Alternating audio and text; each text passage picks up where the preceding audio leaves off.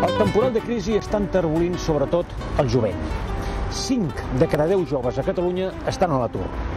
Aquesta pertorbació afecta molt especialment a les persones d'entre 16 i 24 anys. Per això el cardenal arquebisbe de Barcelona, Lluís Martínez Sistac, ha promogut el projecte Joves a l'atur, una iniciativa a través de la qual s'ofereix orientació laboral, ensenyament de la llengua i acollida, formació ocupacional, pràctiques en empreses i borsa de treball. Col·labora amb el projecte Joves a l'atur.